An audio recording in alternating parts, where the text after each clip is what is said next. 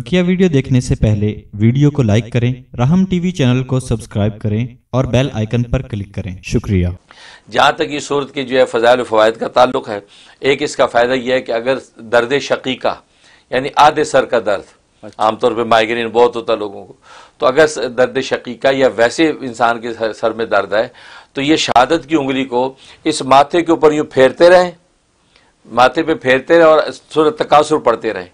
اچھا۔ بس چند بار انسان پڑھ پائے گا اور اس کے بعد اس کے سر پہ پھونک دیں تو اس کا درد ختم ہو جائے گا۔ خود بھی کر سکتا ہے انسان اپنی شادی کی انگلی کو بھی پھیرتا رہے اور صورت تقاصر پڑھتا رہے۔ تو وہ ایک دو دفعہ ہی صورت تقاصر پڑھے گا تو اللہ تبارک و تعالیٰ اس کے سر کے درد کو شفا دے دیں گے۔ اچھا یہ بہت زبردست فائدہ اس کا۔ اور ایک فائدہ ہے کہ اگر کوئی حب جال جا کے حب مال کے مرض میں مبتلا ہے مال کی محبت حریص ہے لالچی ہے ہوتا ہے بعض دفعہ بچوں میں ہیں کسی اور میں ہے تو انسان چاہتے اس کی اصلاح ہو جائے۔ تو فجر کے بعد تین مرتبہ اس صورت کی تلاوت کر کے جب وہ اس کے اوپر دم کر دیں یا دم کر کے پانی اس کو پلا دیا کریں۔ اگر وہ خود چاہتا ہے کہ مال کی اس قدر محبت اور ہر صلاح میرے اندر نہیں ہونی چاہیے تو وہ فجر کے بعد تین مرتبہ روزانہ یہ صورت تقاصر پڑھ کے اپنے سینے پہ دم کر لیا کرے تو اللہ تبارک و تعالی مال کی محبت کی جو ہرس ہے وہ ختم کر دیں گے۔ اچھا ماشاء اور یہ سیونٹی ون ڈیز کی نیت سے وہ عمل کر سکتا ہے۔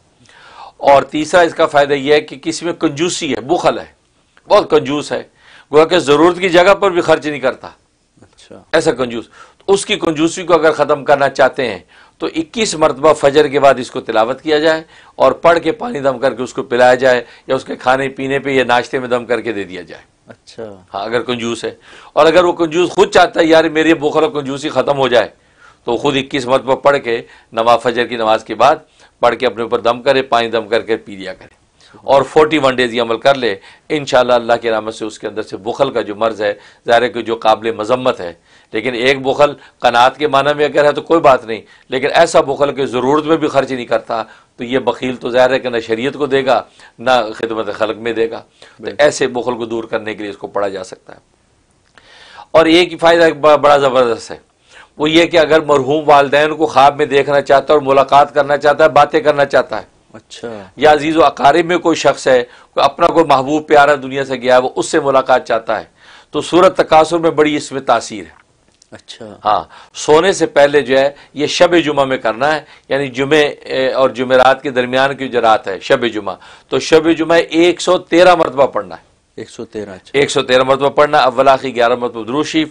یہ پڑھ کے اپنے دم کرے اور دعا کر لے کہ یا اللہ فلاں جو مرحوم ہے اس سے میری ملاقات ہو جائے اور میں اس سے باتیں کرنا چاہتا ہوں۔ تو اللہ تبارک و تعالی اسی رات اس کی ملاقات کرا دے۔ سبحان اللہ۔ اگر اسی رات نہ ہوئی تو اگلے شب جمعہ سے پہلے پہلے ملاقات ہو جائے گی۔ اچھا بہت یہ بہت زبردست فائدہ لوگ چاہتے ہیں بہت سے لوگ چاہتے ہیں اپنے والدین سے مرحوم سے ملے یا اپنا کوئی عزیز پیارا اس سے ملاقات ہو۔ تو یہ جو عمل کریں ایک سو تیرہ مرتبہ انشاءاللہ بہت مجرب اور نافع ہے۔ اور ایک فائدہ اس کا یہ ہے کہ اگر آپ پر قرض ہے اور ایسا قرض ہے کہ اترنے کا نام نہیں لیتا۔ قرض دیتے جاتے ہیں چڑھتا جاتا ہے دیتے جاتے ہیں چڑھتا جاتا ہے۔ اور عام طور پہ بینکوں بینکوں کے قرض انسانوں پہ ایسے ہوتے ہیں کہ وہ ادھر پے کرتے رہو ادھر چڑھتا رہتا ہے۔ بلکہ کیپٹل تو پے بھی نہیں ہوتا انٹرسٹ ہی پے ہوتا ہے۔ تو بندہ پھنسا ہی رہتا ہے کرے کیا؟ اس کے لیے اس میں بڑی تاثیر ہے کہ فجر کی نماز کے بعد تین مرتبہ روزانہ پڑھا کرے۔ اچھا۔ روزانہ قرض کی نیت سے پڑھ لیا کرے۔ انشاءاللہ اللہ تبارک و تعالی نوے دن کی نیت سے عمل کرنا ہے۔ اللہ تبارک و تعالی نوے دن میں اس کا قرض ایسے انداز سے ادا کر دیں گے کہ کوئی ایک پائی بھی اس کے سر پہ نہیں ہوگی۔ اچھا تو کتنی دفعہ پڑھنا ہے؟ نوے دن؟ نوے دن یہ تین مرتبہ۔ بس۔ صرف تین مرتبہ۔ روزانہ فجر کے بعد تین مرتبہ پڑھنا ہے۔ اسی قرض کی ادائیگی کی نیت سے۔ اور نبے دن کر لیں تو انشاءاللہ کیسے قرض ادا ہوگا کیا کل ہے اچھا مارگیجز وغیرہ یہ بہت ایسی چیز ہوتی ہے۔ میں نے کہا نا وہ ایسا قرض اترتا ہی نہیں ہے۔ چڑھتا ہی رہتا ہے۔ تو یہ اس میں بڑی تاثیر ہے۔ تو یہ اس کے فضائل فوائد ہیں۔ تو اگر انسان اس پہ عمل کرے تو اللہ تبارک و تعالی اس کو نفع کثیر عطا فرماتے ہیں۔ اور جہاں تک اس کے خواب میں تعبیر کا تعلق ہے تو اگر کسی نے اس کو پڑھا یا یا سنا تو دونوں صورت میں اس کی تعبیر یہ ہے کہ یہ مال کی محبت میں مبتلا ہوگا۔ اور اس کے نتیجے میں دوستوں کی محبت سے یہ خالی ہو جائے گا۔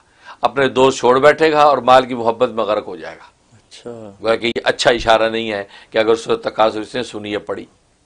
اور دوسرا مطلب یہ ہے کہ اگر اس نے صورت سنی سنیے پڑھی تو اس کے اوپر قرض چڑھ جائے گا اور یہ تنگ دست ہو جائے گا۔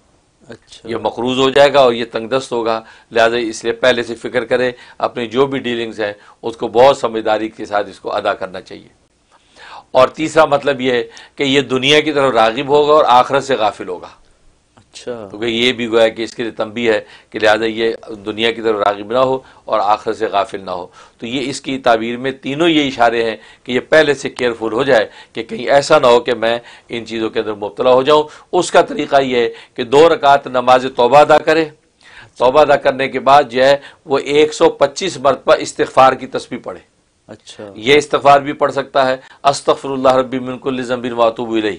ایک سو پچیس مرتبہ اول آخری گیارہ مرتبہ دروشی یہ پڑھ کے اللہ سے دعا خیر کر لے اور حسب توفی صدقہ دے دے۔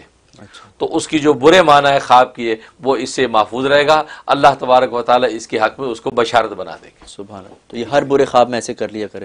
ہر برے خواب میں بھی کر سکتے ہیں لیکن سو تقاصر میں چونکہ کوئی تعبیر بھی اس کی بشارت والی نہیں ہے تینوں تعبیریں اس کے لیے تنبی اور خطرناک ہیں۔